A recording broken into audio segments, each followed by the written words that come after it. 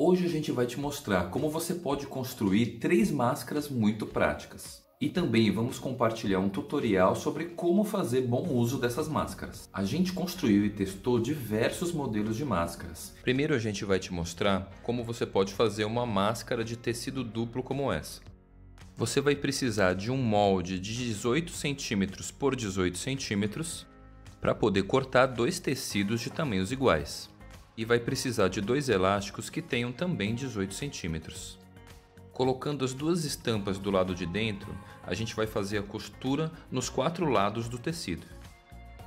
É importante explicar que no início e no fim de cada costura, você deve fazer um retrocesso com a máquina de costura, para evitar que a linha venha se soltar. Perceba que foi deixada uma abertura no tecido para que ele pudesse ser desvirado. Logo em seguida ela já deve ser costurada. As máscaras que a gente está apresentando nesse vídeo são para uso pessoal, então elas não devem ser usadas em hospitais, por exemplo, caso você seja um profissional da saúde. E observe que esse é o resultado da primeira etapa de costura. O próximo passo é fazer três pregas usando um ferro de passar. Porque é isso que vai garantir que o tecido consiga acompanhar o formato do rosto.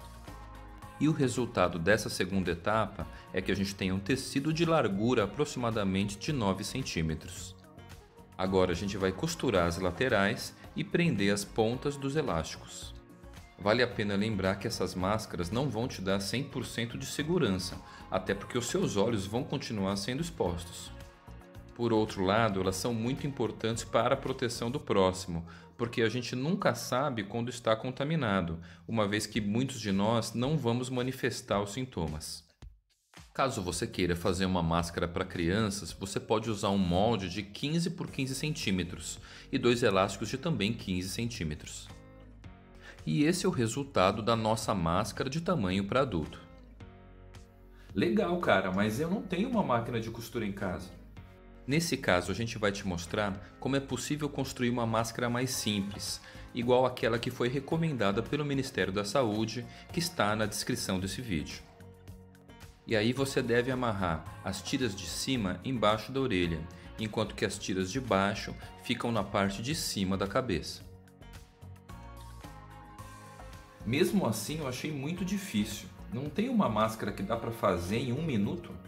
Também é possível fazer uma máscara usando dois lenços umedecidos secos. E aí você pode fazer duas aberturas nas laterais usando uma tesoura.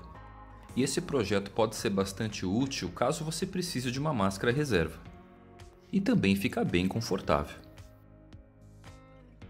E quais são os cuidados que a gente deve ter na hora de usar as máscaras?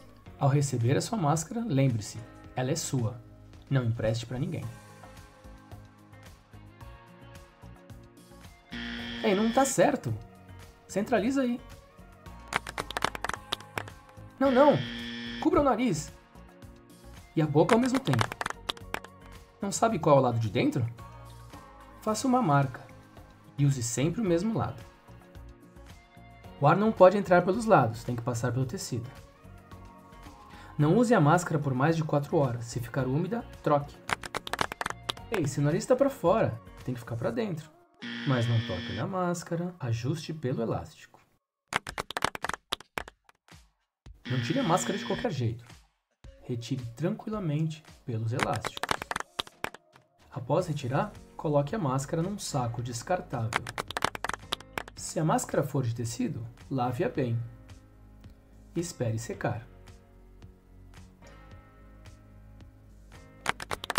Se for passar, não esqueça das pregas e da fita de amarrar. Se a máscara for descartável, descarte. Não coloque a mão nos olhos, nem no nariz, nem na boca. Aguenta. A máscara está incomodando? Não tira. Paciência, você se adapta. Não desista. Sempre que trocar a máscara, lave as mãos ou use álcool em gel. Compartilhe esse vídeo com as pessoas que querem produzir as suas próprias máscaras e multiplique essa consciência de colaboração dizendo uns para os outros: Eu estou usando essa máscara para sua proteção. Eu estou usando a máscara para sua proteção. Eu uso esta máscara para sua proteção. Eu estou usando essa máscara para minha proteção e para sua proteção.